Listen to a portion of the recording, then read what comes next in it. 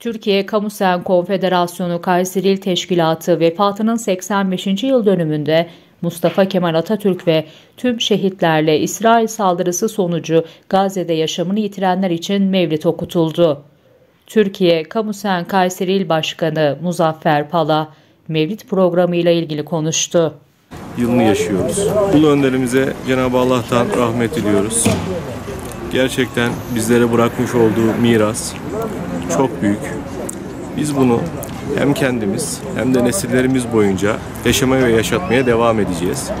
Bizler de Türkiye Kamusen Konfederasyonu Kayseri İl Teşkilatı olarak başta Gazi Mustafa Kemal Atatürk olmak üzere tüm aziz şühedaya ve aynı zamanda 34 gündür hain İsrail'in katliamından dolayı Gazze'de hayatını kaybeden kardeşlerimiz için Cuma namazı öncesinde e, dua yapacağız. Türk Diyanet Vakıf Sen Kayseri Şube Başkanımız, İl Vaizimiz, Sayın Salim Nursaçan hocamız hatim duasını gerçekleştirecek.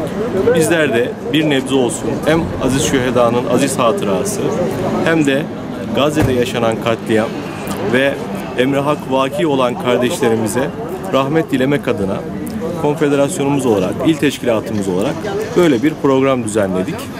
İnşallah il teşkilatımızla birlikte programımızı ifa edeceğiz.